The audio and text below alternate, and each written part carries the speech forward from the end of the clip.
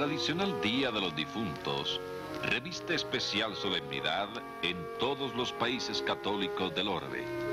En este día, hasta la tumba más abandonada llega una ofrenda floral, cuya simplicidad testimonia un culto permanente e inalterable a través del tiempo.